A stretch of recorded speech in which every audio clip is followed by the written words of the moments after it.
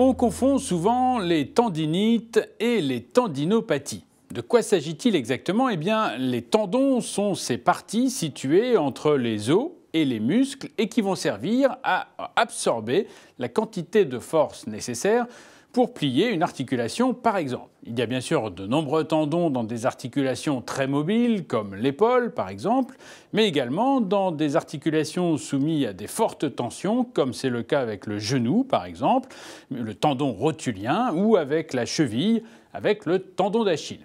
Eh bien, lorsque ces tendons sont soumis à des traumatismes, ils ont une réaction inflammatoire et c'est ce qu'on appelle la tendinite. Oui, mais voilà, avec l'âge, les tendons ont aussi tendance à s'abîmer. D'abord, avec les micro-traumatismes répétés, ils ont des micro-cicatrices qui font que le tendon est plus fragile. Et puis d'autre part, avec l'âge, la vascularisation, l'oxygénation par le sang de ces tendons est moins bonne.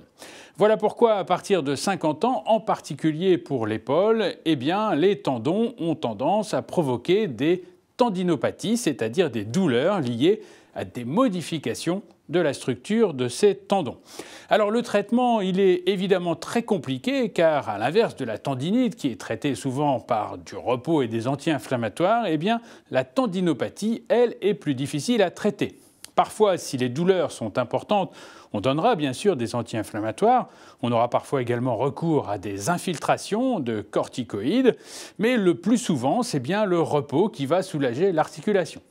Il faut savoir néanmoins qu'à partir de 80 ans, la plupart des gens ont de toute façon des tendons suffisamment abîmés pour avoir ce qu'on appelle une rupture de la coiffe des rotateurs, c'est-à-dire des ruptures de certains tendons de l'épaule.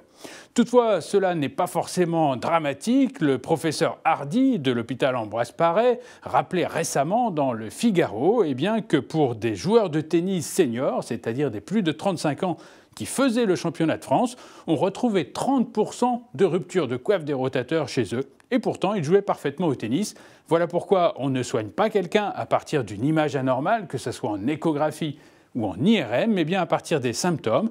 Ce n'est que s'il y a des douleurs très importantes, par exemple qui réveillent la nuit, ou un handicap fonctionnel qui empêche vraiment les mouvements qu'il faut intervenir. Dans les autres cas, eh bien on se contentera de repos, de prudence et bien sûr de ne pas hésiter à prendre des antalgiques type doliprane lorsque la douleur est trop importante.